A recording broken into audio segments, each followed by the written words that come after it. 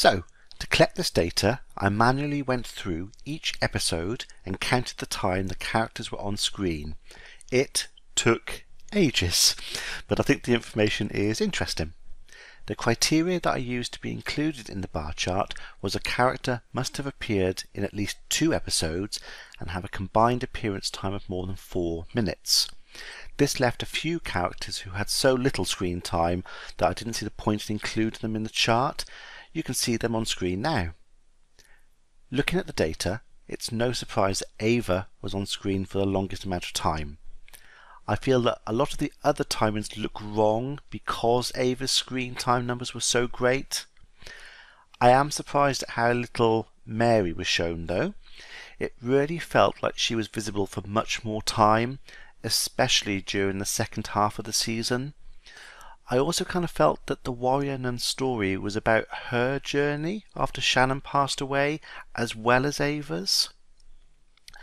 Beatrice, again, was not shown much during the first half of the season, but was much more visible during the second. Father Vincent and Lilith felt about right in the scheme of things in relation to the other characters. I was shocked at JC though. I really felt that he was a waste of a character. He didn't really add anything to the story, and he had more screen time than Jillian Salvius, which just seems weird to me. I really liked Sister Camila as a character. It is a shame she was not seen as much as the other nuns. But I think her role was a little bit of comic relief and just niceness, and maybe it would have spoilt her character if we saw her more. I'm not sure. Cardinal Duretti felt about right in screen time terms, and Mother Superior obviously picked up a bit in the last couple of episodes. I think she'll have a bit much uh, bigger role in season two. Christian Schaefer was another role that I felt uh, they could have done more with. He felt very lackluster.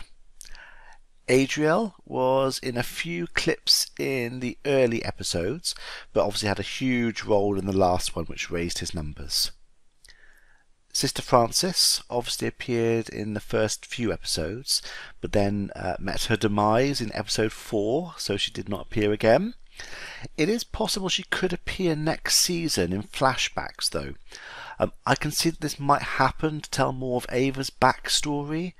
We still don't know anything about her father, so we may see more about that and more with Sister Francis. Then we go to Chanel and further down Randall and Zori. I thought that they were completely pointless and brought nothing to the story.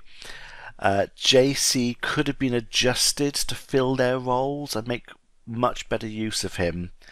I'm amazed that Chanel had uh, more screen time than Michael Salvius, especially considering how important his role is to the show.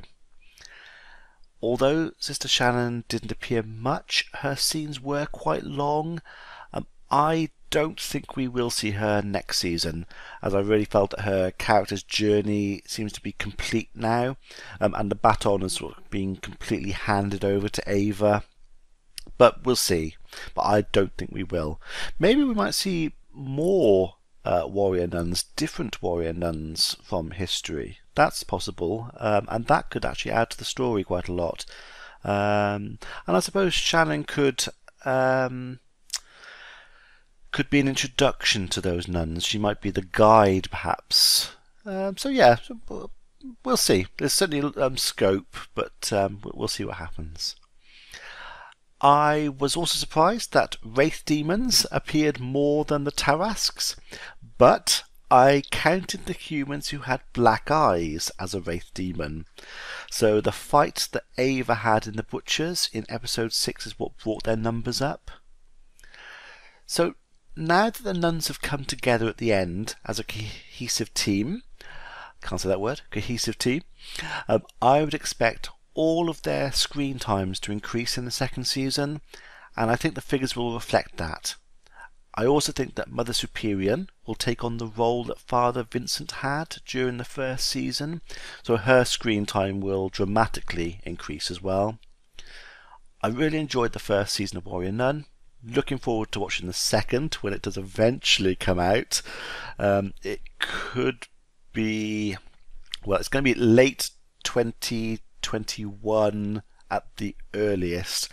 I suspect it'll be 2022, uh, realistically, when filming can start again. Really hope you liked this video. Let me know what you thought about it in the comments below. Watch out for other videos on my channel. Be seeing you.